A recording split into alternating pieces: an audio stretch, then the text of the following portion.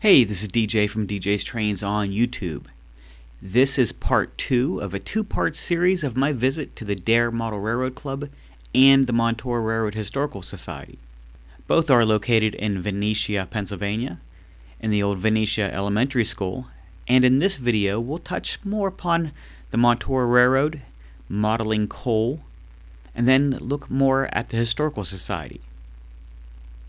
The Montour Railroad was a 45 mile long coal hauler in western Pennsylvania that existed from 1917 to 1983. Coal was obviously the biggest thing. Uh, they had uh, box cars for uh, Brookside Lumber. They also supplied stuff to uh, Slater Supply. Uh, and then, depending on the era, they also served uh, Muse, which was a chemical plant there towards the end. So the Montour, it interchanged with the P&LE at the Coraopolis, right? And then the Union, did they interchange with the Union, or was that, Yeah, Union at, at uh, West Mifflin. and was it? That was the two ends of it, basically. Okay, And it also, um, B and O at, in South Park at Snowden. okay, Um, PRR at two different places, one, one at, uh, Hills at, in Peters, on Boyce Road, basically. And then at McDonald was also a PRR interchange. Work was handled by a fleet of SW9s. Yeah, once they got to the diesel era, it was, it was all SWs. They did some tests, um, right around nineteen eighty, when they were retiring those. They were talking about maybe going to GP thirty-eights, and they did some tests with a couple of those, and it didn't give them, didn't give them any more. They ended up, at the, for the last couple of years, when they sold off the original SWs, they used some, um, MP15s or uh, SW1500s from P&LE, because P&LE owned them at that point. That was, that was the final power that, that actually ran on it. And they used cabooses on all their trains. Caboose was basically an office for the conductor, Okay. because it's where he kept his paperwork and did his, it had a desk in it and, you know, uh, they did have, also had a stove and they would do some cooking, rudimentary cooking and whatnot, but, uh, um, because the Montour, in the early days, they would lay over it, when they went to West Mifflin, sometimes they would lay, quote, lay over there. Okay. Uh, And they did have, they actually put a couple houses there Really? uh, for the guys to use. And then, this was in the, you know, twenties and thirties, so steam era. Uh, Once you got to the point where the guys had, the roads were a little better and guys had cars, basically they didn't, even though technically they stayed over, Okay. they kept an old beater there and they would go home. Okay. You know, they would just drive home at night and then go back in the morning and, instead of, instead of staying over at Mifflin. The 45 miles of track have been ripped up. It is now a bike trail, but there's very few remnants remaining. You know, and the big, like out of Champion, which was the big, huge coal cleaning plant out, Yeah. out uh, near Imperial. Okay. That's just a big empty field now. And the trail runs down through the middle of it, but that's it.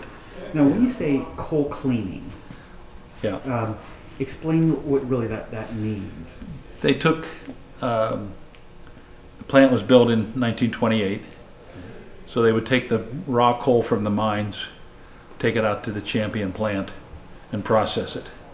They would clean it, size it, crush it, uh, basically to meet any, any uh, specs from a customer, which mainly uh, power plants, coal-fired power plants.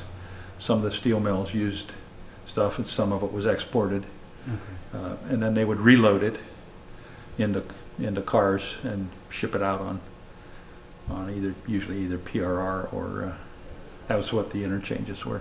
So, from a modeling perspective, that's something that you'd like to see maybe people model is that you could bring coal from a mine Right. to a cleaner, Yep, and then you know where it gets unloaded and then reloaded. Yeah. It just it's more activity than just simple mine to Yeah. power plant. yeah, the, the original, you know, up until nineteen twenty-eight, basically each mine took care of its own coal. Okay. Uh, some of them had facilities to screen and, uh, you know, crush it and, and size it. Um, But, you know, that meant every mine had to have its own operation and its own set of people, you know, this, uh, to run it.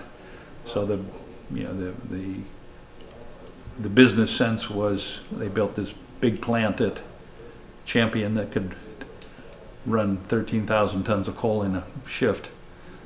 And, uh, and so you basically, you took it all there and just processed it at one central point. Someone built this model years ago. Um, I'm saying at least fifteen and probably more.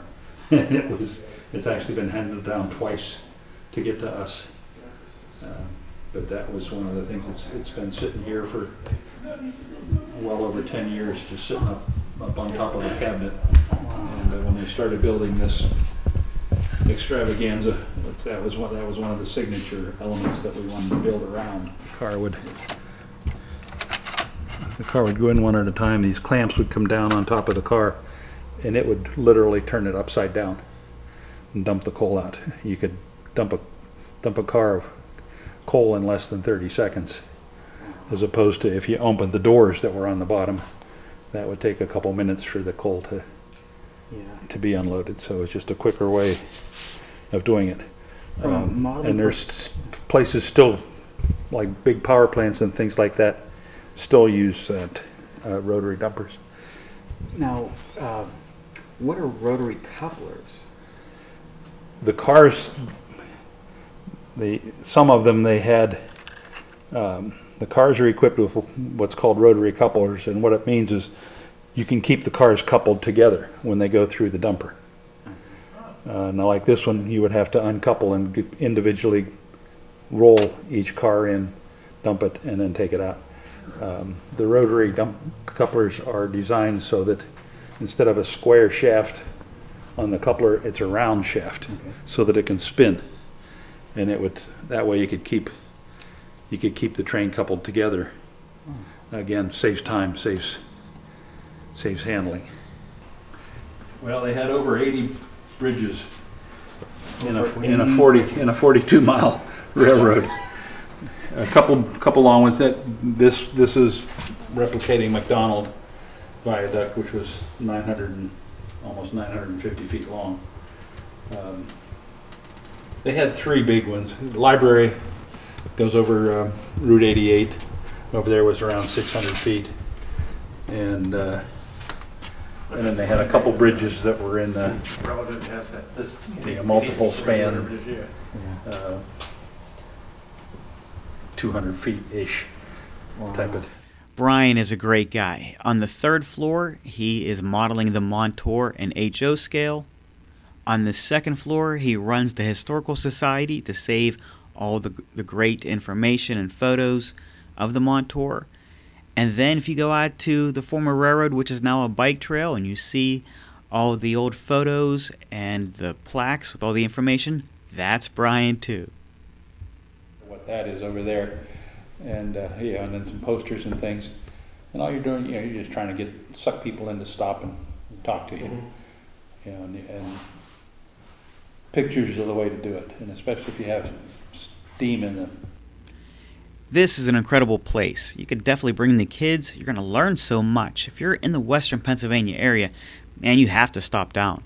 If you're out of state, hey, this is a great little road trip. While you're in the area, you can go walk the bike trail. But here, you're going to see so much about coal mines, about railroads, industry, modeling. And there's some great maps, too. This is kind of cool because it shows the mine tracks where they went into the hillside. These are all the mine car tracks and where they went into the hillside. Here's where the tipple was then, cleaning plant, tipple. Uh, Then the Bureau of Mines had a, a place there that they would test coal and stuff like that uh, for the whole country.